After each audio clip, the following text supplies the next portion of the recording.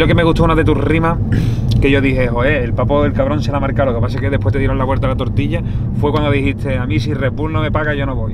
En pocas palabras, ¿eh? Sí. Eso estuvo bueno. Sí, sí, estuvo bueno. Estuvo buena. Lo que pasa es que después el sub se dijo, me ha dejado aquí un hueco, aquí Sí, voy a atacarle sí, sí. con todo, que es lo que hubiese hecho cualquiera. Sí, sí, sí.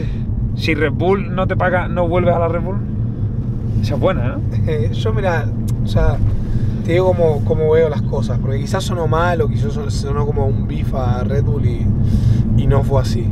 O sea, básicamente hay, hay en la vida como dos mecanismos de recompensa, ¿no? Uno puede ser como eh, la publicidad para que vos eh, te hagas más conocido, digamos, dentro de este ambiente por lo menos, ¿no?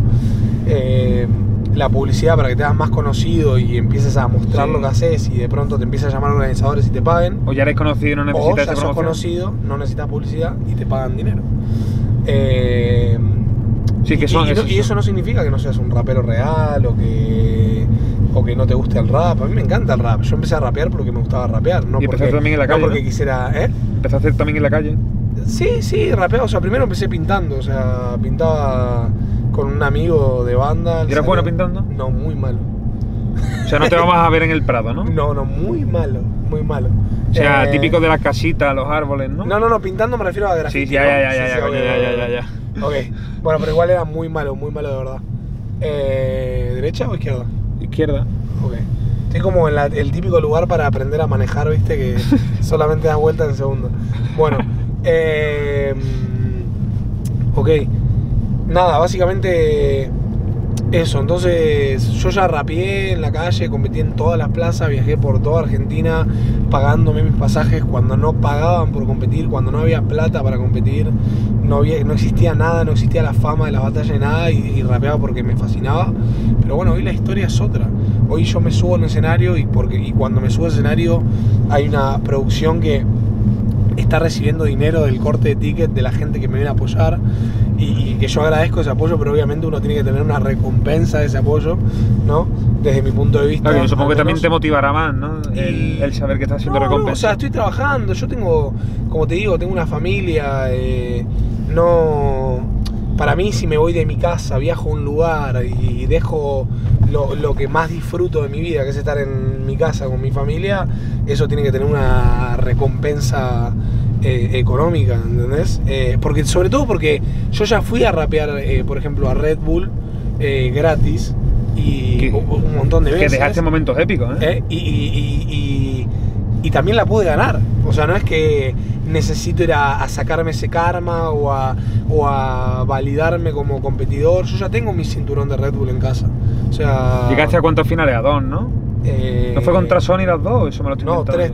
Tres finales. Tres finales. 2013 contra De Toque, 2015. No, 2013 contra De Toque, 2014 contra Sony, Sony. 2016 contra Sony.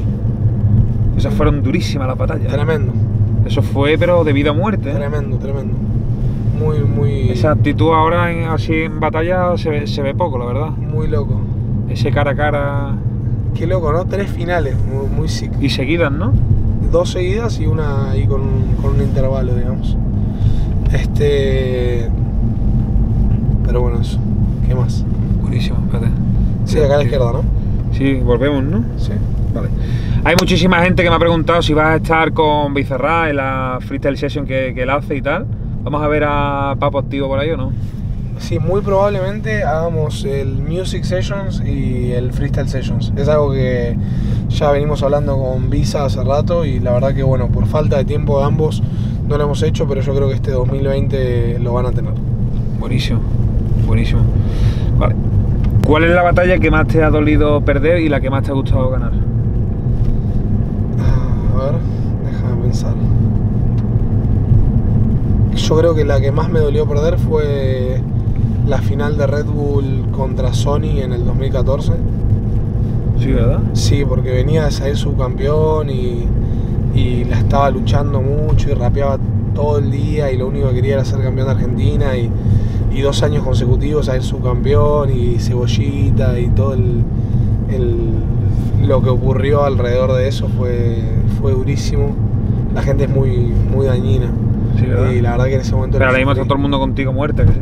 Eh, ¿Cómo? Que ahora la gente está contigo muerte de bien, digo que... Sí, sí, sí, hoy por... ¿Tú por- no por crees que el, hecho de subir vídeos a YouTube y tal ha hecho que la gente te conozca más y, y ganar público a favor? Sí, yo creo que sí, porque ven otra cara, ¿no? También mía, o sea, mucha Más gente... cómico, ¿no? Mucha gente piensa que soy un egocéntrico agrandado, que un poco es, pero... Pero me ven como, viste, hardcore, que a los gritos, que izquierda, derecho... No, sigue recto. Ah, ok. Y ya hemos pasado por delante, cuatro veces por delante de la policía. Sí, sí, sí. Eh, y, y nada, y en YouTube me ven otra cara más eh, graciosa, más eh, tranquilo, como en otro plano, y, y ven más una realidad, ¿no? Que, que lo que pasa en el escenario, que uno está rapeando, está interpretando, está haciendo otra cosa, ¿no? Te veo súper concentrado, me hace mucha gracia. Estás ahí, ¿verdad? En segunda, vamos, a 30 por hora. No, Nos acaba de puse- adelantar puse un, vie- terce- un viejo puse- en taca-taca. pu- Puse tercera y me dijo, poné segunda, poné No, segunda". no, pero porque estaba el coche. ¿Cómo viviste tú cuando la gente empezó a decirte que lo de cacha estaba escrito, no sé qué? Y No. la gente sigue con eso, ¿eh? No pasa nada, o sea, por empezar, lo que dije en la rima lo vuelvo a repetir. eh, todos los competidores han tirado rimas preparadas, es algo que lo he, o sea, se ha hablado con los competidores, es algo de lo que no se suele hablar en público. Y mm, yo prefiero utilizar el término de rimas preconceptuadas a, a escrito, o sea, yo no me senté con una computadora o con una máquina de escribir a escribir un minuto para gacha, pero claramente, o sea, cuando tenés tanta tanto tiempo para una batalla o tenías batallas como Red Bull, como God Level, como FMS y, y sabes contra quién te toca y vos eh, freestyleás y, y te salen rimas y probablemente esas rimas te las acordás y después eh, incluso eh, capaz te toca un mismo beat que ya rapeaste y tenés una musicalidad o terminaciones que llevas a cabo y te quedan mejor para ejecutar o lo que sea. Pero sí es verdad que después de que pasó eso, eh, me quedé como súper traumado al respecto y, y- y ahora es como que solamente quiero responder lo que me dice mi rival, básicamente. O sea, no quiero ni, ni pensar. Es en- más, si te vas a clavar una muy muy buena, Sí, la sí, sí, la- un la- poquito. me- me trabo, y no, vaya a ser que, que se crean que. Sí, sí, sí, sí. O sea, no quiero pensar en, en nada, básicamente. ¿viste? No- Y, y de todas las competiciones que tú has ido, ¿en, en- en cuál ha sido la que tú has llegado? O sea, la que tú te levantas y dices tú, bien, hoy me toca ir a esta competición porque te sientes cómodo. Porque yo supongo que habrá competiciones como, no sé, lo que hemos estado hablando antes, Gold Level, que es a 4x4 por cojones. eh, A lo mejor Red Bull, eh, si haces un mal minuto y el otro hace un buen minuto, te vas fuera de manera injusta, entre comillas. Sí. Y por ejemplo, FMS, hay muchas más posibilidades, hay minutos, hay 4x4. ¿En cuál Y- te sientes tú más cómodo? Yo ¿Cuál te- creo, o sea, yo creo que FMS claramente es el formato que, que mejor me queda. O sea, estoy muy acostumbrado a rapear con palabras, con temáticas. Eh, la capela me fascina, eh, me divierto mucho y me siento muy, muy cómodo. Yo la verdad que en el escenario de FMS me siento como si estuviese en, en mi casa. O sea, estoy muy tranquilo, no como que no sufro prácticamente eh, arriba. Y después en otros escenarios la paso un poquito peor, como Red Bull, que es como decís vos, capaz te tiran una rima muy buena y te ganan la batalla. O God Level, eh, me encanta, pero me gustaría que cambie el formato, la verdad, porque rapear todo el tiempo 4x4 me parece que como que no te permite terminar de explayarte, o al Sí, menos a mí, como que quiero fluir, hacer una técnica, eh, o rematar una rima en, en 8 barras, o, o en 12 y no podés, o sea, porque, porque simplemente no se puede, porque dijiste la cuarta, la cuarta barra Y ya va otro. fin, o sea, va el otro, ¿entendés? Ya está. No, no, no, nunca, eh, o sea, por ejemplo, imagínate lo que eh, lo que pienso yo, o sea, los- las mejores rimas de la historia son la mayoría de minutos, no de 4x4. Hay poquitas que son de 4x4, pero imagínate, por ejemplo, a Dani, ¿no? Que a mí es de los que más me ha A- a gustado. Dani lo matas en un como 4x4. freestyler. Le pones 4x4, no es nada que ver, porque él es de es de lo que te va golpeando y te va golpeando, te va golpeando y te va golpeando. O sea, creo que que es necesario que haya minutos libres y que le permitan jugar y fluir eh, y rapear y demás al, al artista, ¿no? A mí me gustaría que le explicase a la gente el por qué lleva Inear, bueno, yo, yo lo supongo porque no puedes alzar mucho la voz, ¿no? Y al escucharte a lo mejor por los por los baffles, que por los altavoces que, que tienen ahí abajo, como todo el mundo, a lo mejor eso te hace gritar más y pierdes la voz. Yo supongo que será, no, ¿no? no, yo creo que hay que, o sea, que, la, que el freestyle se profesionalizó y nosotros tenemos que profesionalizarlo de la misma Porque manera. todos los artistas a nivel mundial llevan Inear. O sea, decime qué artista conoces que toque en un estadio para acá 15.000 personas y no, toque, no tenga un INEAR. Ninguno seguramente. O, o prácticamente ninguno, porque necesitas escuchar la pista, necesitas escuchar el retorno de tu voz. Entonces yo intento de darles... ha sido el primero, ¿no? En llevar eso. Sí, necesi- o sea, intento de darles la mejor versión de mí y la, mejor versión de Papo lleva INEAR. O sea, sin duda. O sea, Porque ¿en qué lo notan? Que te hace gritar menos, ¿no? Eh, no, Porque yo recuerdo. a me- cosas, O sea, yo, por ejemplo, eh, me, me pongo la pista al volumen que me gusta, mi voz al volumen que me gusta, me escucho más, le puedo subir más la voz al rival para escuchar claramente lo que me dice, que no me tapen los, los gritos del público. Vas a ver en muchas muchas oportunidades que, que yo como que el público está gritando y yo sigo rapeando. Sí. ¿Por qué es eso? Porque no estoy escuchando al público, me estoy escuchando a mí. O sea, tengo sonido de Yo ambiente me, di- me di cuenta de eso ayer, por ejemplo. tengo sonido de ambiente, escucho al público, pero sin embargo, si yo decido seguir rapeando, puedo seguir rapeando. Porque te Si- estás escuchando. Porque me escucho. Si yo no tengo INEAR puesto, no puedo seguir rapeando porque no me escucho. Entonces ya vas a ser una decisión mía seguir rapeando o no, Buenísimo. básicamente. Entonces me parece que es lo más profesional que hay y la verdad que se lo sugiero a todos los competidores, que me parece que es un paso que, Así que todo el mundo a quejarse que, que, que- que tienen que dar. O sea, yo entiendo de escuchar a la gente, de conectar con la gente, pero esto ya es mucho más grande. Ya estamos llenando estadios, no son eventos de 500 personas. Gente increíble, ya han pasado como 15-20 minutos y seguimos vivos con Papo al volante, esto es impresionante. Yo daba por hecho dos rotondas y fuera, pero no, no, sigue por ahí activo, ¿eh? Seguimos en segunda, ¿no? Ahora, ahora vamos a correr una picada. Segu- seguimos en segunda, pero bueno, no pasa nada. ¿Cuál es el mejor speaker del mundo? Misionero, para mí sin dudas. Es que había- pues, siempre hay polémica con misioneros. No, pero ¿sí? para mí sin dudas es el Pero, mejor. Pero hay algo. mucha diferencia entre el primero y el segundo. Yo te voy a decir algo. En el boxeo, ¿no? Que es una, un deporte que creo que se asemeja al freestyle, ¿no? Sí. O sea, un deporte en el que hay agresión, en el que hay dos personas matándose arriba de un ring, un escenario, como lo quieras ver. Hmm. ¿Cuántas personas hay en el medio del escenario del ring? Una. ¿No? O sea, una persona manipulando ese escenario. Para mí el freestyle es lo mismo. Para mí en el freestyle no puede haber dos hosts. O sea, puede, sí, no creo que sea lo óptimo.